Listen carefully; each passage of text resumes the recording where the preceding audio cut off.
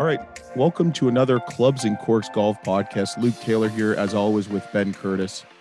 And and I'm excited. I love I love how you do the Queen wave. Well, you got, you know, I'm half Arnold Palmer, half Jack whatever it Nicklaus, is. you Yeah, know. whatever it is.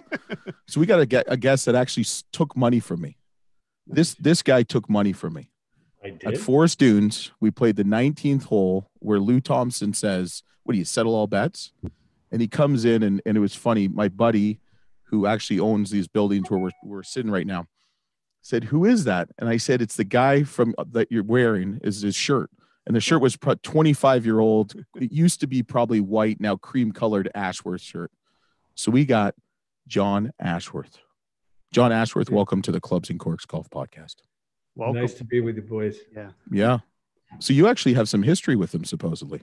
Yeah, we do. Um, well, obviously he's going to remember, and obviously I remember. But for our guests and our, you know, our fans out there, that uh, you know, back I, I mean, I grew up watching Fred Couples, Payne Stewart, and all those guys, and I remember when Ashworth and Cookie came out with their Ashworth gear on, and uh, used to be I used to wear it when I was a junior golfer, and then somehow.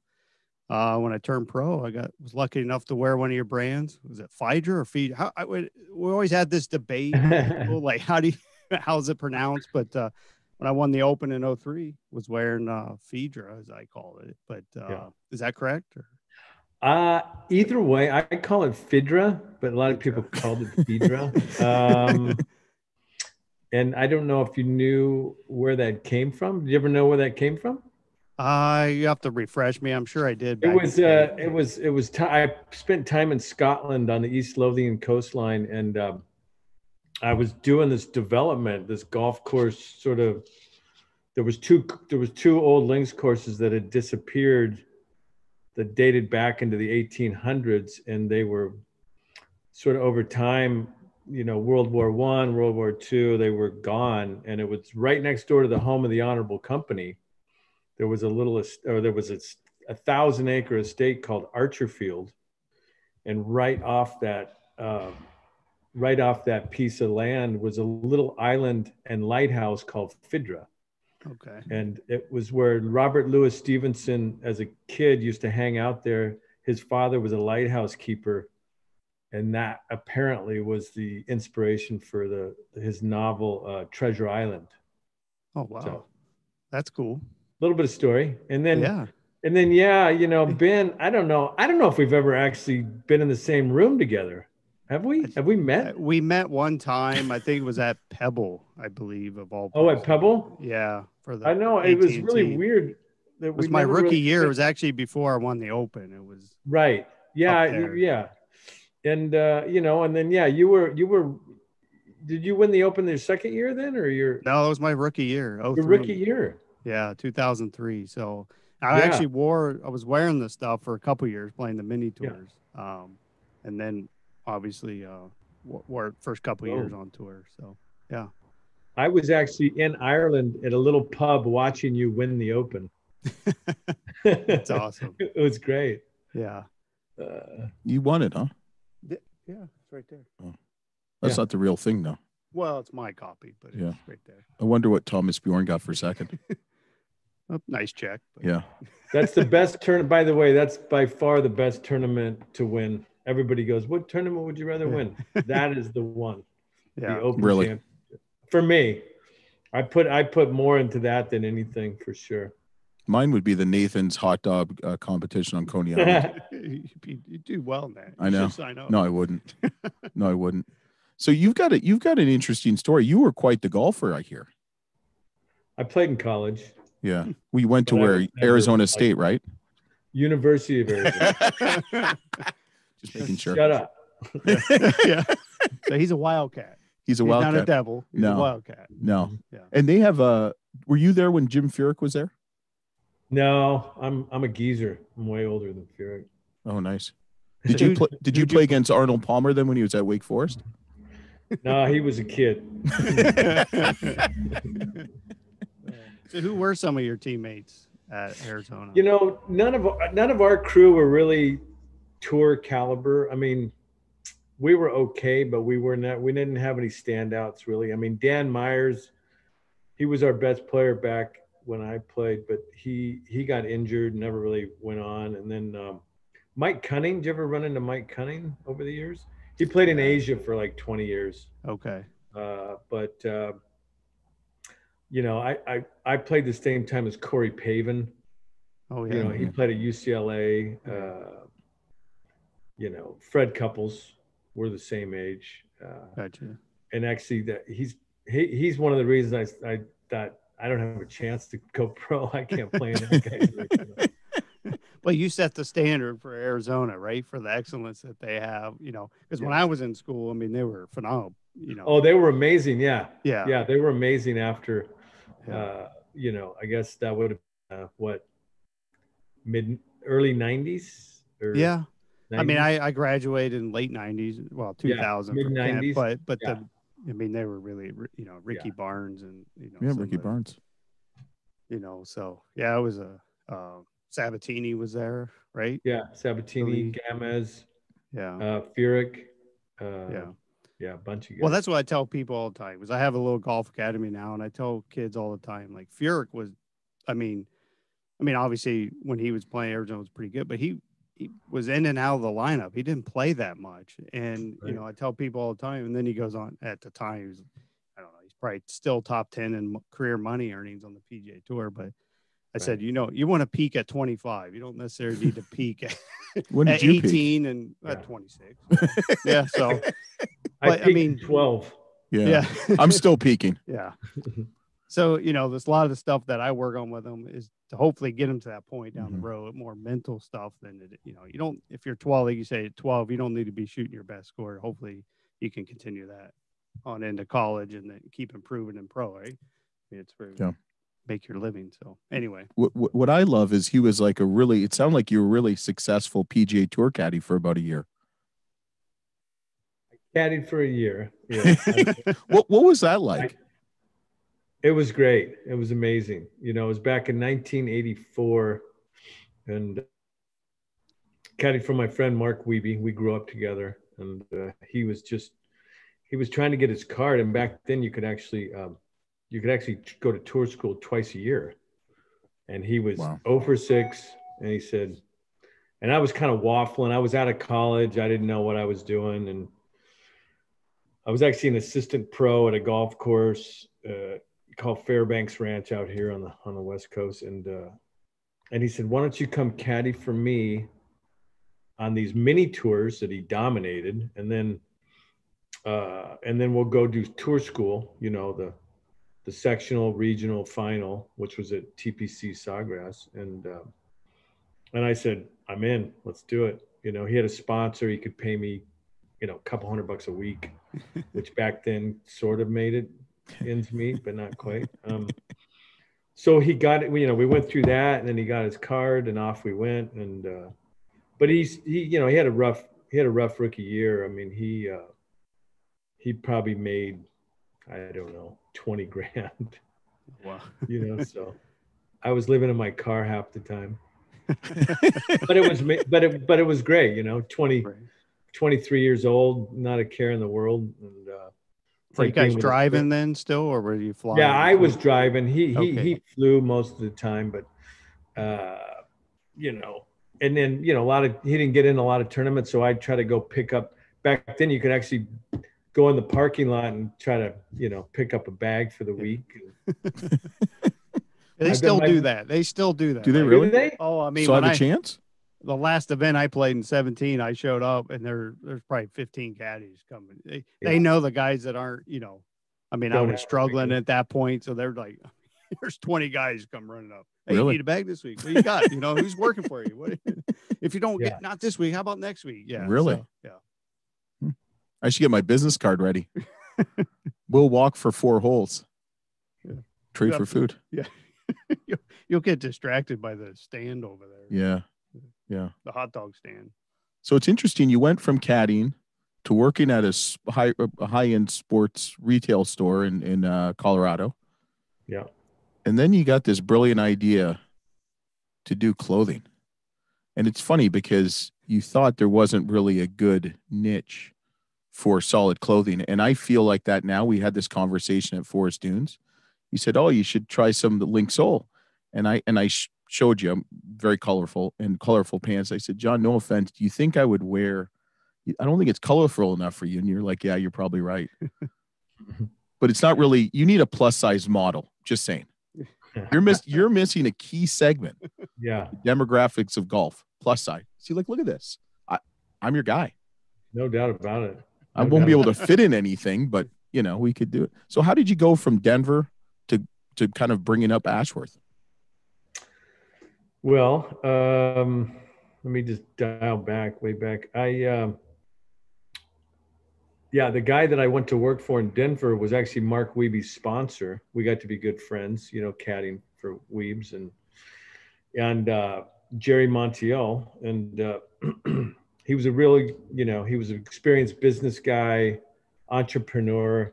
So I was very lucky. I got to really kind of. He was a mentor, and and uh, unfortunately for him, in the mid '80s, the uh, his his venture in this retail store, uh, it wasn't working out so hot.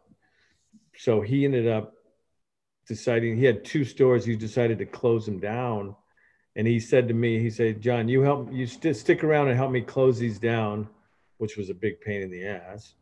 Uh, then we'll figure out another business to do. You know, so I didn't have anything going on. I said, absolutely, I'll help you do that. So I, you know, we went through the process of, you know, dealing with all the crap that you got to deal with when you do that. And then, uh, and then out the other end, he said, well, if you were going to start a business, what would you do? And I said, well, you know, I've, I've been playing golf my whole life and there's just such crappy gear, you know, that for, for my opinion, there wasn't a lot of good choices for a guy you know my age and you know older younger whatever to uh, that i thought was um, you know comfortable and and easy to wear and all that stuff. So and he he kind of he wasn't he was a kind of a high handicap not much of a golfer but he played a little bit of golf.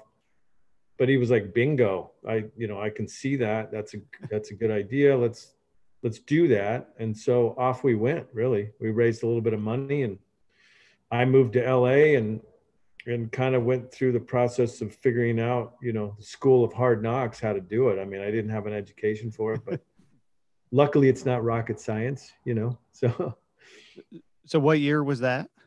That would have been 1987. Oh wow. 1987. And then so now did you were you the design focus or did you I was that? the design and merchandising focus, you know, I moved out to LA and uh I kind of had a vision of what I'd like to do, but I didn't know how to do it. Uh, and uh, I did hire a couple of young gals, really, one that was in design and one that was in production. Uh, and we we set up shop in a little studio out there and um, and just cobbled together the first sample line and then I put it in my car and went out to all my buddies, you know, that I knew were in the golf business. Right you know, and they felt so sorry for me that they bought it, you know. So, do you know who was the first? Who was the first uh, customer? First customer on the West Coast was a buddy of mine at La Jolla Country Club, Rick Riley, and uh, oh. who was at who was at you know that tournament in Hawaii, right? Yeah. That you saw met my brother, uh, yeah. and uh, but yeah, no, I was. Uh, it was I look back and I just think, oh my God, we're so lucky to, you know, one step at a time, but we we made it through the the phase of not really knowing what the hell you're doing, you know, to and then we kind of got on a roll and figured out how to do it. And uh, you know, we went and talked to Fred Couples right away. You know, I knew him from college a little bit and John Cook. And I felt like if if we got two guys that really embodied what we're trying to do, it was really going to help you know, sort of magnify our our whole approach and our whole brand. And sure enough, that happened. And those guys, those guys went on to play great. And then we, yeah. in the process, picked up, you know, Ernie Els and Dave Stockton, and just kind of, just sort of steam, you know, steamrolled, and it was uh, it was quite a run. It's quite a run. Yeah. yeah, I think it was the, you know, the yeah Fred Couples pulling up the sleeve kind of thing that put you guys on the map for sure. Totally. So 92 was that the beginning or was that where you were out a few years obviously at that point, but was that Yeah, the no, peak? 92 was a big year when he won the Masters for sure. We just kind of went on this trajectory that was it was already set up, but it that was like putting gas on the fire, you know. Uh, it's funny about when he did he does that whole thing, you know. Yeah. I used to try to get him to wear like I think large shirts, but he wore extra large shirts because he wanted it real baggy, cause so he could do that. Like, and then everybody started wearing their clothes really baggy. Oh yeah. Yeah, Fred Fred Couples, I think, started the whole hip hop culture mm-hmm. with the baggy clothing. I don't know about that. Yeah. Well, that that is funny how you mentioned that. So he actually, I thought it was just the style, right? But it was more. That was just more the way he wanted it. the way he wanted it. The way he wanted it. That's Yeah. interesting. Yeah. I didn't know that. I thought it was just the style. I thought, well, okay, we're all wearing baggy clothes. Tiger came out, his clothes were baggy, right? Mhm. I I know. mean, now it's like, how tight can you get them? So right. I know. It's crazy. funny. Yeah, I don't know. I don't like to see you in tight clothes. European medium. you know. Yeah. Yeah. Yeah. So you got you sold to Ashworth. What did you kind of do in between the whole Ashworth to Link Well, Soul? We were a public, we went public also. We were a public, I didn't really sell it. We were a public company and, uh, and it, it was about the 10th year. So me and my partner sort of, I don't know if I was getting burnt out. It was kind of a lot of work for that 10 years. And, and, and he was kind of getting losing, losing his pizzazz and we were going through a little bit of a rough patch and, and we had a board of directors and all that stuff. And, you know, being public's not a lot of fun. I don't know if you guys know much about that, but you know, what are you going to do next quarter and what, you know, what, you know, it's, We should do that for the podcast. We should go public. We Have are- stocks, we are stocks public. and clubs and corks, yeah, you should. Penny stocks. Yeah, penny stock. Well, we, we we started as a penny stock, really, Yeah, like 75 cents a share. seriously. So there's hope for us. Yeah, you could do it. We get at least 45 cents. So is it still public today or is no, it- so eventually I, I ended up leaving in year 11. right. I just I couldn't we we brought a guy in and he and I didn't get along and I I went I had an opportunity to go over to Scotland to work on this golf course project which is what I did. Right. Hmm. And then the the company kept going on and eventually in I think it was 2007 they sold to Adidas who ran them right into the ground but Wonderful. Uh, so is it still out there? I think I see it's well still it's surviving, Adidas, right? Adidas finally sold it. Well, Adidas sold it to TaylorMade when a company bought TaylorMade, and then and then TaylorMade sold it to the Chinese distributor, and then a guy locally here just got the rights for North America, so you might start seeing it again. Nice. It did disappear, really, though. Yeah. Sounds like an episode of Days of Our Lives. Yeah. Gosh. So, so how that's got to be weird to see your shirt, your name out there, but have nothing to really do with it, right? So to speak. I mean, are you? Is there royalties in that part of the business? I don't. You know, Unfortunately, unfortunately, not. No. That's- uh, That's crazy. that's crazy. yeah. And then so Ashworth ended, and then that's when you got into Fidra, right? Yeah, a few a few years later, yeah. A few years later. And that that was I don't know if you remember or not, Ben, but that was with Quiksilver, the surfwear company. Right. Mhm. Yeah. Yeah. And then that kind of that that went sideways when Quiksilver, again, a big public company, they bought Rossignol Ski Company, who actually owned Cleveland Golf, which was actually a mile down the road from Quiksilver. Wow. So I thought at the time, I'm always like, oh, this is going to be great. But it turned out being a nightmare. The guy that ran Cleveland, I don't know if you knew much about that, but No. again, he and I didn't get along so well. I'm seeing a common trend. Uh, I was Trend out here. Yeah. I'm not easy to work with, I guess. I don't know. it, like- it sound it sounds like it. Yeah. Yeah. Hey, we're going to take a quick break. Then we're going to ask you about LinkSoul. The miracle of wine capturing a special time and place finds its essence in the Mira Cabernet Sauvignon Schweitzer Vineyard. Even before Jim Bear Dyke and Gustavo Gonzalez founded Mira, they dreamt of making a definitive Napa Valley Cabernet Sauvignon from this premier Grand Cru vineyard, first planted in 1885 in the heart of the Stags Leaps district. The Schweitzer family devotes incredible care in their stewardship of the land and the fruit it yields, making them ideal partners in Mira's quest for pure expressions of vineyard and varietal. This is my favorite part, John. Get ready for this. the Mira Cabernet Sauvignon Schweitzer Vineyard. Pour yourself a miracle. Nice. I feel like I pour myself a miracle every day. I do. You do you- good Where's your guys' glass of wine, by the way? What's going on? I, I, well, Well, we have some juniors that probably listen to this, like one or two. So we have to be somewhat PG, John. Uh, so LinkSoul, how did that come come about? Yeah. So, um, oddly enough, I um, I actually had started using that name. I really fell in love with the whole concept of link soul, how golf links souls together. You know, uh, back in the Ashworth days, and um, and I had been uh, with Fidra. I'd been working with my nephew Jeff Cunningham, who was a really amazing. He is a really amazing artist, and uh, and and we had thought, you know, at some point it might be cool to start this new brand uh, because I felt like still golf clothing or lifestyle clothing was more geared towards you know athletic-y Nike, Adidas stuff, and there wasn't that much, you know, kind of. I don't know. Th- to me, I, I like I like to make clothes that cross over to everyday wear. Mhm. That it's not like wow, that's a golfer. It's more like oh, that guy looks good. He can, you know, go to his day job, sneak out for nine holes seamlessly without a problem. Go to dinner that night. I want to be that guy. So,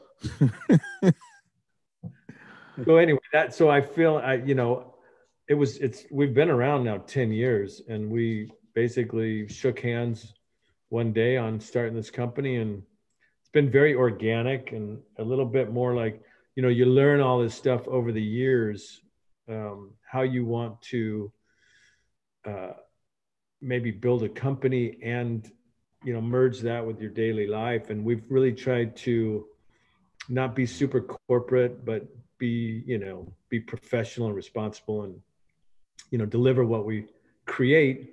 But yet you know we're not dri- we're driven more by community and and uh, being part of the community and and giving back than we are about you know making every last dollar i guess. Yeah. Yeah, that's all. I mean, I think your stuff's great. I mean, I, I I haven't worn much of it. I got your brother Hank gave me, you know, a couple shirts there, like a little sweater from the event down in Hawaii, and I still I wear it every day. And that, I think that it's to the point. It's always hate when you walk off a golf course, you know, and then you're trying to go to dinner, or you're having drinks with buddies, and you feel like you just you're still on the golf course. but right. you know, and I think that's the style. And the young kids, I think, really appreciate that and love that. Right? They want to be able to you know the 50 some plus year old guys they don't care. They they want people to know that they actually went golfing but i think a lot of people like you said coming from work or whatever kind of like that. It's very versatile like you said but it's high quality stuff too and i think that's the one thing about your stuff even with ashworth and Fi- Fi- fidra you know now with link soul it's high quality stuff. Yeah i like to make quality stuff for sure. Yeah. um it's uh, you know good value too hopefully you know good Yeah. put as much quality into it as possible but yet have it be you know affordable i guess Yeah. What what is one color you would love to incorporate in your color wheel for LinkSoul that you haven't yet? I'm asking for a friend or me. you know every year we approach it you know it it it, de- it depends i mean we we don't do really like we don't like the color you're that's not really a link soul color we don't do really No. loud It's not loud. This accentuates my high cheekbones. i'm just teasing you God. no but uh i you know i mean it's um our color theory is more based on what we you know consider japanese color theory which colors that come from nature you know Purple. That are a little bit more earthy and stuff like that so Purple, lilac. Sure, we've done plenty of lilacs, like light purples and stuff like that. Yeah, not bad. but not fuchsia or pink or Try not orange. to get too bright. yeah. I get it. You know, it's just it's just it's kind of our lane. Stay in your lane. You know. Yeah. I'm in everybody's lane, John.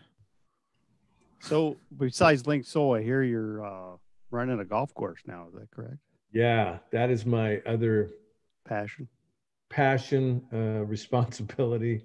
yeah, at Goat Hill Park. So when you come out, you guys got to come play. Um, it's it, it's a funny story. It was it's something I, I played as a kid in junior golf. You know, it it wasn't in our town, but it's it was 20 minutes from where I grew up, and they'd have junior golf tournaments every summer and stuff. But it's been around since 1952.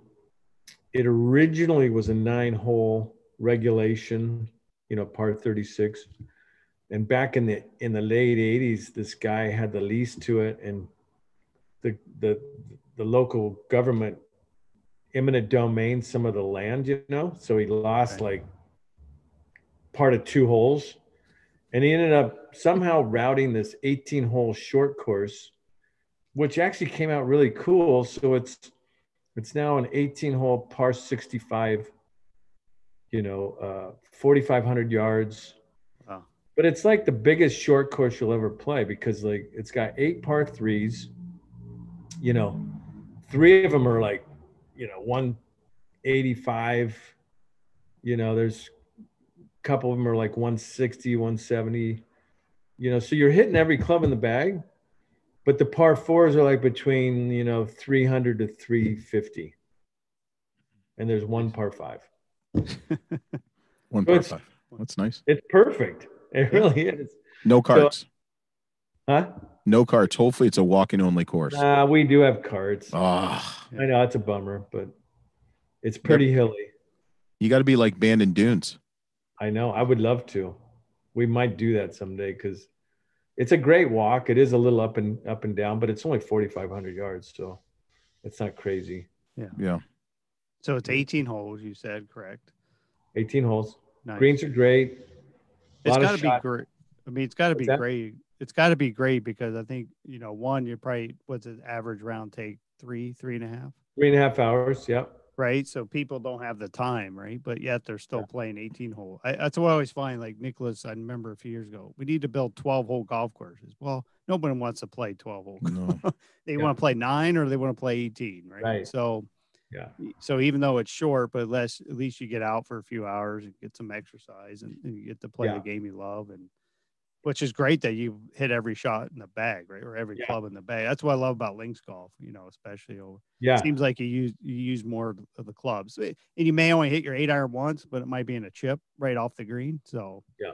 but it gives you a lot more options. But I think that's really cool.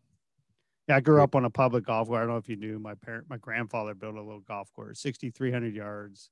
But That's not you little. know, well, it's not little, but I mean, it's not, it's not Augusta. Erin Hills or whatever, right, yeah, you know, it's not those or Bandon where you got 7,600 yard golf courses, but it's a fun place to play. It, it, it speaks for everybody, right? So you can Is go out still with your there? family. You can Yeah. go out, you know, I could still play it today and have a good time. So.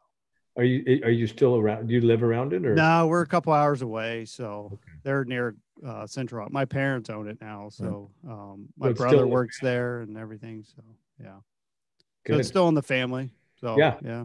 My my dad's been the only superintendent there since '74. oh, so that's so and he's still working. You know. Yeah, no, that's awesome. See that I got my degree in agronomy, so oh, okay. I'm like, I'm the assistant. I'm the assistant assistant greenskeeper.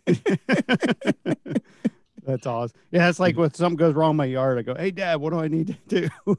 what I got to throw down?" You know, Yeah. and it works perfect. So, but that's awesome. Is Yeah. it? Do a lot of juniors use the use the facility? Oh yeah, we're the home of the North County Junior Golf Awesome. Association, and we've started a caddy academy, a, caddy that's and cool. leadership academy. Do you do you head that? You teach people about being a caddy? I'm I'm I'm, I'm involved in it. It's you know we do uh, ages 13 to 17 in the summer. We have a summer program, and it's cool because it's a nonprofit. So we raise money for it. So like you know, we also have this thing called the Goat Hill Golf Club. It's like 150 bucks a year for guys to join. so we got a really good crew of local guys, and then you know they mentor, they you know they take the kids out, they get to be you know uh, get these caddies, these you know young kids, and they you know somewhat mentor them, and and they and they get paid by the nonprofit, and the guy gives them a little tip at the end, and it's kind of a win-win deal. Yeah. You know. Would you rather go to church or caddy on Sunday mornings? Oh, easy caddy. That's uh, that's How'd how that go? How how'd that go? How'd that go over with your mom? Because she made an she made an ultimatum to when you were a child, right? You know, it, it worked out. Yeah. Uh, That Yeah. didn't work in my house. If if the feet were on the floor at eight o'clock for eight thirty church, but it's funny. My dad would say he had to go to church. My dad played tennis every Sunday. Uh, Figure that one out. Well, your dad sounded like played uh, golf Played every golf, Sunday. Yeah, yeah. yeah. that's awesome. Yeah. So uh, so how's the golf business out there with COVID? Is it just Oh, man. skyrocketing? Oh, mean, it's just- been amazing. Yeah, COVID's been very good for golf. Yeah. You know, uh, I'll give you a little example. So, 2019, because when we took over this course, it was it was it's it had gone to crap. I mean, it was dirt, it was weeds everywhere. So we've been really working on it over the last you know seven years, but it and it started getting pretty good. And um, 2019 full year, we did 28,000 rounds. You know, not not bad. I mean, you know, every year we were doing more and more, and so this was a lot for us. So 2020, oh, in 11 months, we did 42,000 rounds. Wow. That was the difference with COVID. Where you closed down what part of March and April or something? we were closed down almost all of April. I think it was yeah. basically April 1st to April 30th. Boom. Okay. So, hmm Yeah. That's awesome. Isn't that crazy?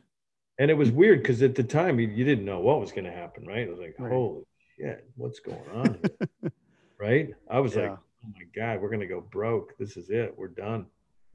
You know, and it was just Yeah. it was heartache. And then, boy, it came back and it was just like, bam, Boom. Yeah. everyone flooded out. You, you know the only place you can't play golf right now in the world is my home place, my home province, Canada. Ontario. Yeah. You cannot Really? play golf in Ontario. Yeah. For Wow. some reason, you can get COVID on a golf course.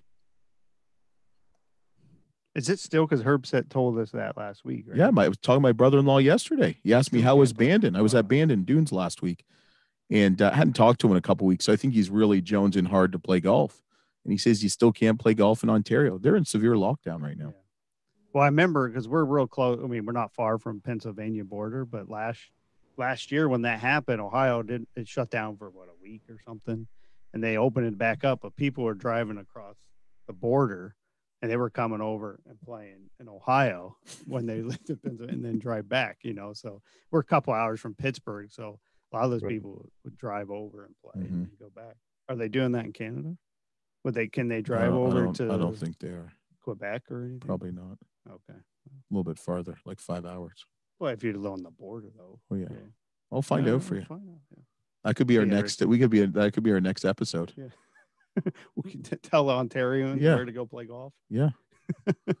so where's some of? So you you're probably a world traveler and what have you with golf.